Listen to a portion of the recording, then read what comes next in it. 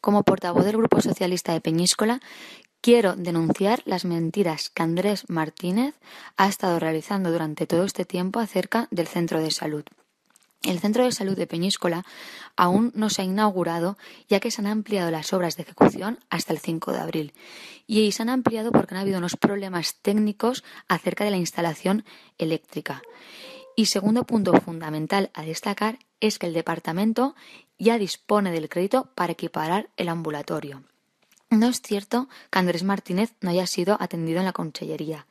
Decir que tanto los alcaldes del PP como de otros partidos políticos en la actual consellería, en la actual Generalitat presidida por Chimo Puig, son atendidos, cosa que antes no ocurría.